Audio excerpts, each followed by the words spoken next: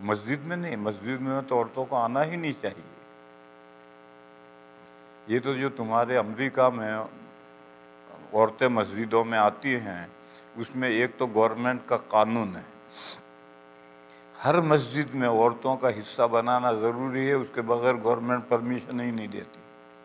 کیوں؟ ان کے یہاں ایکوالٹی ہے۔ تو وہ ایکوالٹی مسلمانوں پر بھی نافذ کرتے ہیں، تو اب عورتوں کے لیے جگہ تو بنانی ہے۔ پھر ٹورنٹو میں میں نے ایک بندے سے پوچھا، ارے بھائی تو تو دیوبندی ہے، اپنی بیوی کو لے کر مسجد میں کیوں آتا ہے؟ تو اس نے مجھے جواب دیا کہ میرا گھر بہت بڑا ہے اور گھر میں میری بیوی کے علاوہ کوئی اور ہے ہی نہیں۔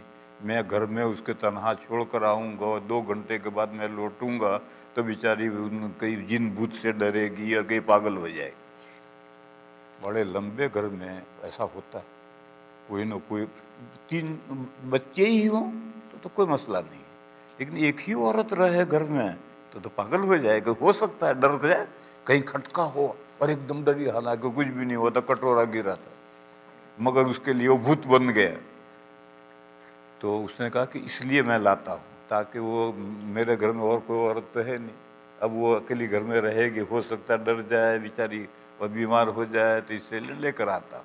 تو میری سمجھ میں آیا کہ اس ملک، ہمارے ملک میں یہ ضرورت نہیں، ہمارے ملک میں تو سارا محلہ ایک گھر ہے۔